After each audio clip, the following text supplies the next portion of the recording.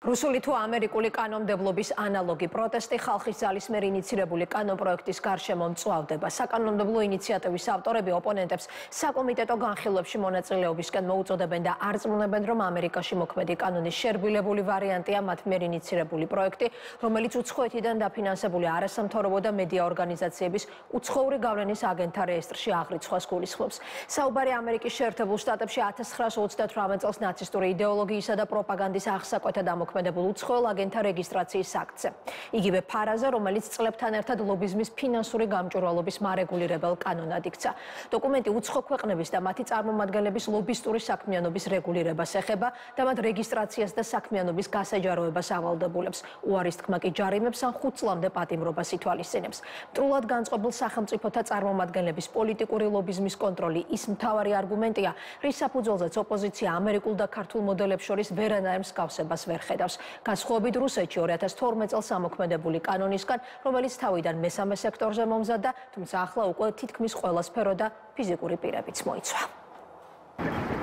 ორიოდ კვირის წინ შეერთებული შტატების კანონით რეგულირებულმა გამჭვირვალობამ სკანდალურად გამოაშკარავა მიხელ სააკაშვილის ოჯახის მილიონ დოლარიანი ლობისტური სქემა თავისი არანაკლებ სკანდალური დეტალებით. კანონის თანახმად გასაჯაროვებული დოკუმენტით გაიყვა, რომ საექსპერტო დასკვნებისთვის ასობით 1000 დოლარი ექიმებს ლობისტურმა კომპანიამ გადაურიცხა. როგორც ჩანს, სწორედ ამის შემდეგ გაჩნდა შეკითხვა, თუ შესაძლებელია იმის გაგება, რა მიზნებისთვის იხარჯება საზღვარგარეთ გადარიცხული მილიონი, მოქალაქეებმა ისიც იცოდნენ, როგორ და რაში მიდის ფული, რომელიც პირიქით საზღვარგარეთიდან საქართველოში ირიცხება. უცხოური გავლენის გამჭვირვალობის უზრუნველყოფის მიზნით შეიქმნება უცხოური გავლენის აგენტების რეესტრი. რეესტრის შექმნის იდეა, რომელშიც ყველა ის არასამეწარმეო იურიდიული პირი და მედია საშუალება უნდა დარეგისტრირდეს, რომელიც დაფინანსების 20%-ზე მეტს უცხოეთიდან იღებს, იმ თავითვე იქცა დიდი გარჩევისა და უკმაყოფილების საგნად, რომელშიც განსაკუთრებული სიხისტით ყურს ტერმინი აგენტი მოხვდა და დაიწყო ვნებათა ღალვა თემაზე. უცხოეთის აგენტად უნდა გამოცხადდეს თუ არა ყველა, ვინც შემოსავალს უცხოეთიდან იღებს. პოლიტიკურ ხმაურში ინიციატორები ირწმუნებიან, რომ იდეა ამერიკულ კანონმდებლობას დაეფუძნა. ამ მტკიცებას კი ოპოზიციური ხმაური ფარავს, რომლის რიგებშიც თითქმის ყველა ფიქრობს, რომ პროექტი ამერიკული კი არა, სინამდვილეში რუსულია და რეპრესიული, ისევ რუსული სულისკვეთებით. რეესტრი შეექმნება და იქ უკვე ვალდებულება ექნებათ, რომ აი ეს ანგარიშგება წარმოადგინონ დეკლარირებულად და იქ ყველა მოქალაქე შეიძლება ნახოს ესა თუ ის ორგანიზაცია რა მიზნით და რა კეთილშობილური მიზნით მოღვაწეობს ჩვენ სივრცეში. ეს არის და ეს ამაზე გვაქვს საუბარი. ერთი მე მაქვს ერთი ძალიან მთავარი არგუმენტი.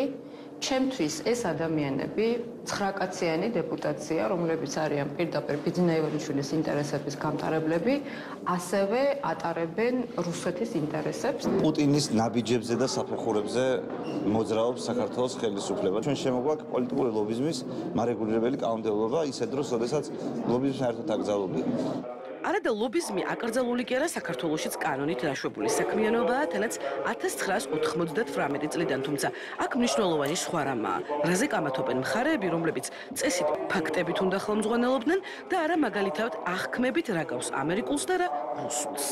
ოპონენტები მათ მე მგონი ისინი მე მგონი ყურადღებას ვერ აქცევენ რომ ისინი არიან სწორედ ვინც ახდენენ სტიგმატიზებას დემოკრატიული დისკუსიის, ყველაფერს რაც მათ არ მოსწონს, ნათლავენ რუსულად და ამით კეტავენ ყოველგვარ დემოკრატიულ დისკუსიას. ვიდრე საქმიან დისკუსიას აღქმითი კამათი ფარავს ჩნდება შეკითხვა. რაკნას რიგითმა მოქალაქემ, რომელსაც კანონმდებლებისგან განსხვავებით, არც კანონპროექტების კითხვა ევალება და შემდეგ არც პროექტისა და უკვე მოქმედი რუსული თუ ამერიკული კანონების შედარებითი ანალიზი. ამიტომ შეკითხვით სამართლის სპეციალისტებს მიმართეთ და ვთხოვეთ, მარტივად აეხსნათ, ამერიკულს გავს ქართული პროექტი თუ პირდაპირ რუსულ რეპრესიულ ნორმას იმეორებს.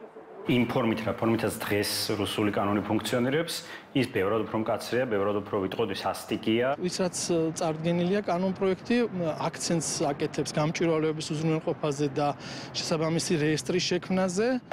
გამჭვირვალობა წესით და რიგით დემოკრატიის ერთ-ერთი მთავარი საფუძველია, თუმცა სპეციალისტების აზრით იმისთვის, რომ საყდრები თავის ფუნქცია შეასრულოს და პირიქით დემოკრატიას საფუძველი შეუწიოს, თავად უნდა იყოს დღეს მდგომარეობით არასამეწარმეო იურიდიულ პირებს საკუთარი ფინანსური ანგარიშების წარდგენა შემოსავლების სამსახურში ევალებათ, მაგრამ თუ რიგითი მოქალაქე მოისურვებს გაიგოს, რომელი ორგანიზაცია ვისგან იღებს ფულს და შემდეგ ამ ფულს რა მიზნებს ახმარს, ამას უბრალოდ ვერ შეძლებს. საჭირო და აუცილებელია თუ არა, მაგალითად მოქალაქე მიწოდეს მის ქვეყანაში ვინ ის ფულს ხარჯავს და მაგალითისთვის დაუშვათ, რომ პირობითი ორგანიზაციის მტკიცებით, სადღაც პირობით ლოკაციაზე რგავენ ხეებს, რომლებიც სინამდვილეში ჟანგბაც კი არ გამოიმუშავებენ, ჰაერში საწამლავს აფრქვევენ.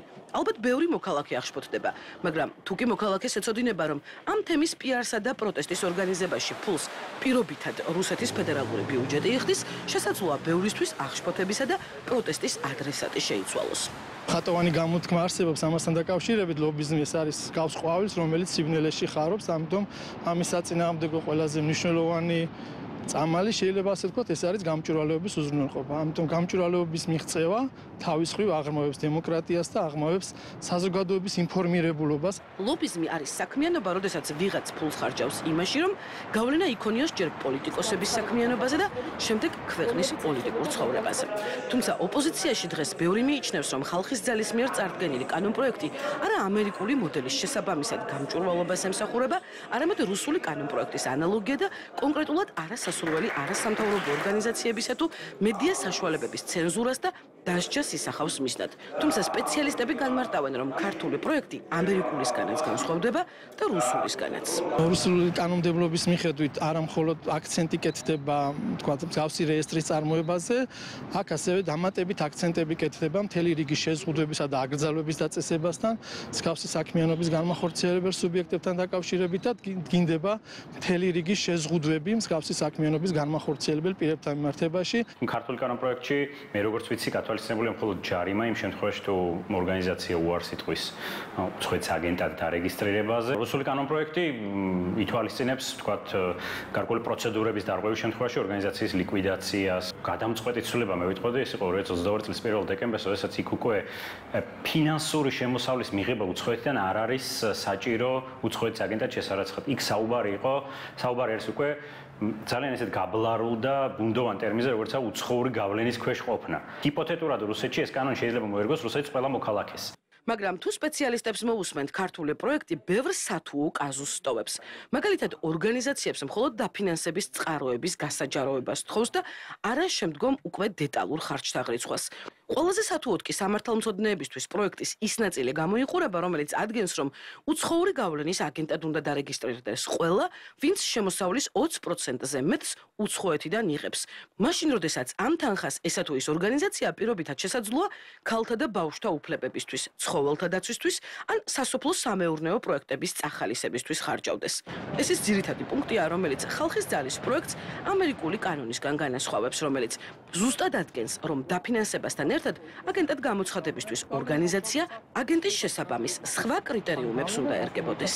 ერთი კრიტერიუმი გვხვდება, რომელიც მხოლოდ და მხოლოდ დაფინანსების მიხედვით ითვალისწინებს ორგანიზაციების შეტანას რეჯში, მაშინ როდესაც აღიარებული პრაქტიკის მიხედვით სხვა კრიტერიუმების თანხვედრა არის აუცილებელი იმისათვის, რომ მსგავსი ორგანიზაციები მსგავს რეჯში შეტანის აუცილებლობის საკითხი დადგეს და მოახერხოთ მსგავს რეჯში, ვინაიდან და ერთ-ერთი ნიშანი არის სწორედ ზეგავლენის მოხდენა სახელმწიფო ხელისუფლების ორგანოებსა და თანამდებობის პირებზე.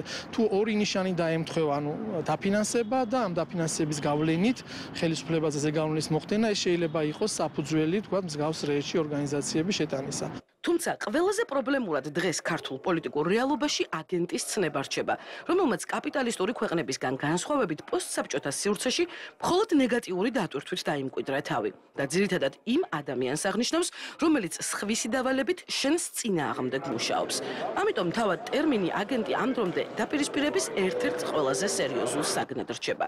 განსხვავებით დასავლური ქვეყნებისგან, სადაც აგენტს უფრო ფართო დატვირთვა აქვს და სადაც გაცილებით ნაკლებ პრობლემურად მიიღეს ლობიზმის ფინანსური გამჭვირვალობის კანონები. სულ ბოლოს გამჭვირვალობის ნორმები დიდ ბრიტანეთში, ირლანდიაში, ჩეხეთსა და გერმანიაში ამოქმედდა. უფრო ადრე ევროპის ბევრ სხვა ქვეყანაში და ყველაზე ადრე შეერთებულ შტატებში, სადაც ლობიზმში ყოველწლიურად ოფიციალური მონაცემებით წელიწადში 3 მილიარდ დოლარამდე თანხა ტრიალებს.